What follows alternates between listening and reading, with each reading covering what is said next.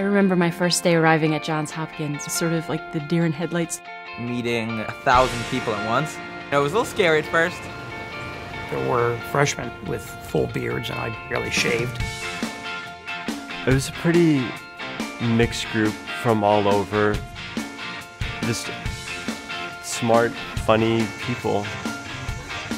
But it's surprising how many of those first acquaintances became my very best friends. I remember immediately feeling warmth and immediately feeling welcome, like this was really my home. But it's a huge adjustment going to college. It's a completely new lifestyle. You're living on your own, first off. So there's that whole sense of being independent. Where'd you live? I live in Wolman. Uh, well, the AMRs were so much better. There were a lot of crazy things that happened in dorm life.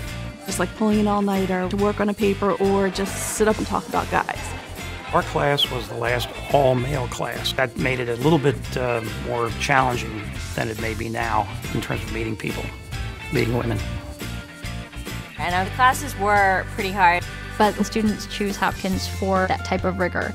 Just to be open to whatever Hopkins has to give you. Because people are really, they're so supportive of you and of your efforts. Cover grades. Big, big plus. Yeah. Morning classes and I didn't work well together. People usually showed up with their pajamas, flip flops, clearly not showered. It does help to go to class. Um, I learned that the hard way. Of course, it's a challenging place and you need to, to blow off steam.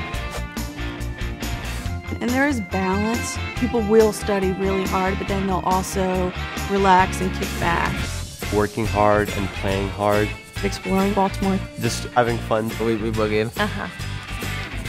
But what I recall most were those moments of just bizarre, hilarious, and strange sorts of occurrences that, that can't, you can't make them up, you can't recreate them, they just sort of happened. We all decided to hand in an assignment about Twinkies. Yeah, I did have pizza delivered to me in class. We were walking down University Parkway, the two of us with the red front door. So we didn't really know how to handle it. It was a wacky Tuesday. But it was no alcohol at the party and everybody had to take their shoes off. The sirens are going on. But luckily, we managed to emerge without anything permanent on our records. But anyway, Those four years were transformative for me for all of us, You're part of a community. constantly striving for excellence. I learned I volunteered. Uh, I grew up. I really became the person who I truly am today. And I've made a lot of friends that I know I'm going to keep for the rest of my life. we'll be friends forever. Forever.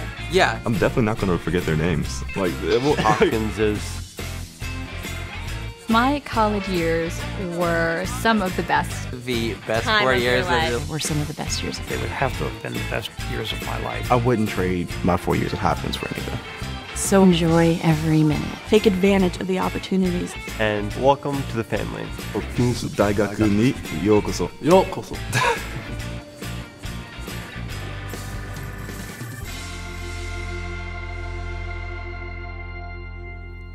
Are we still rolling?